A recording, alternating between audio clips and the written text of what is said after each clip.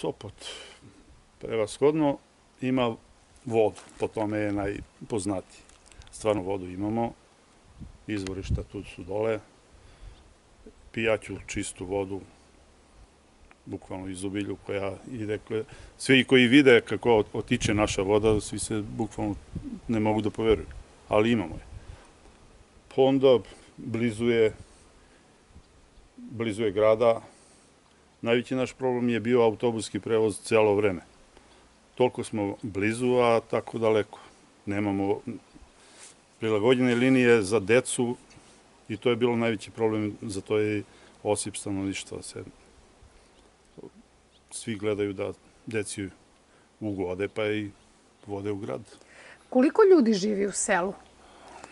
Pa trenutno, sad baš da, danas ne znam, jer nema prinova, ima samo umiranja, ali zadnji, zadnji izbori kad su bili, bilo je oko 185 glasača.